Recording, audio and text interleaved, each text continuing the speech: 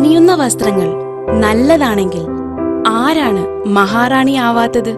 മഹാറാണി Silks Nilambur Kalpetta.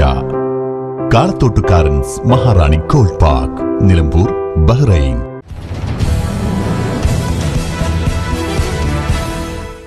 Nadukani ചുരം പാതയിലൂടെയുള്ള യാത്രാവിലക്ക് നീക്കാത്തതിനെതിരെ യൂത്ത് ലീഗ് നിലമ്പൂർ നിയോജക മണ്ഡലം കമ്മിറ്റിയുടെ നേതൃത്വത്തിൽ പ്രതിഷേധം സംഘടിപ്പിച്ചു.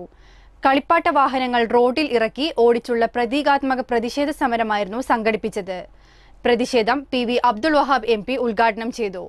ലോക്ക്ഡൌൺ പരാജയമാണെന്ന് തിരിച്ചറിഞ്ഞിട്ടും ഇവിടെ മറ്റൊരു തരത്തിലുള്ള ലോക്ക്ഡൌൺ ആണ് ഇപ്പോഴും നടക്കുന്നതെന്ന് അദ്ദേഹം പറഞ്ഞു. കേരള തമിഴ്നാട് സർക്കാരുകൾ തങ്ങളുടെ താല്പര്യങ്ങൾക്ക് വേണ്ടി ജനങ്ങളെ ബുദ്ധിമുട്ടിക്കുകയാണെന്നും P V Abdul Wahab M P കുറ്റപ്പെടുത്തി. കാരണം പല ആൾക്കാരും ഇവിടെ ആൾക്കാർ ജീവിതം ജീവിതം അവർ രണ്ടും ഒപ്പിക്കുന്നത് മറ്റുള്ള സ്ഥലത്ത് പോയി ജോലി ചെയ്തിട്ടും കച്ചവടം ചെയ്തിട്ടൊക്കെയാണ്.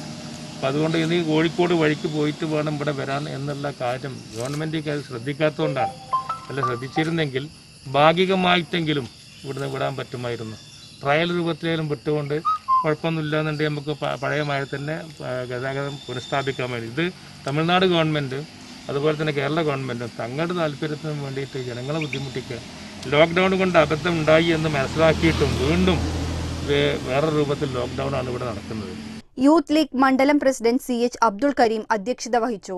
Muslim League Vazhikkadavu panchayat president Machingal Kunju general secretary Vakyathodi Moideenkutty youth league മണ്ഡലം general secretary doctor C Anwar Shafi Irshad Thannikkadavu Niyas Muthukad K P Ramees Saithalavi Karulai Junaid Alayi Jafar Cheriyadan Shameem Kurukkal Rasheed Varikkodan P P Sabah Dileep Pothukal Ibrahim Manimooli എന്നിവർ സംസാരിച്ചു.